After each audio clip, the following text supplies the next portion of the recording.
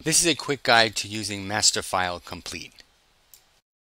To access MasterFile Complete, go to the library website at library.laguardia.edu and select the Databases, Articles and Books Online tab in the center box.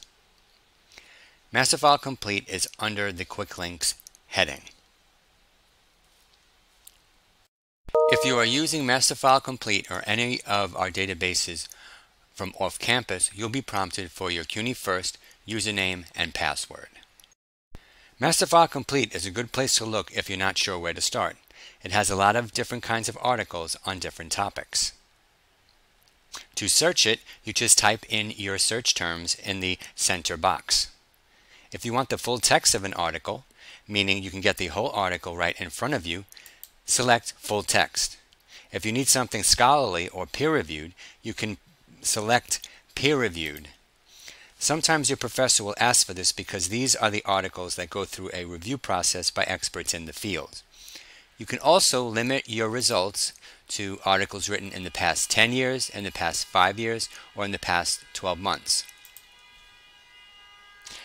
You can do also these things from a later screen, but if you want to do them from the start of your search, you can do that too and then just type in your search. You'll notice that once you start typing, the database recommends search terms just like in a Google search. Let's use the word and, which just tells the computer that you want both ideas to be present in the search.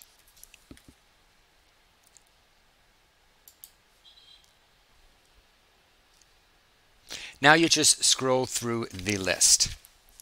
You can click on the title of an article and it'll give you a short summary, what is called an abstract. On the top right, if you select the quote or cite icon, you will be given a citation of this article in different formats. You can also share this article through your email. And lastly, you can download this article if it is available as a PDF.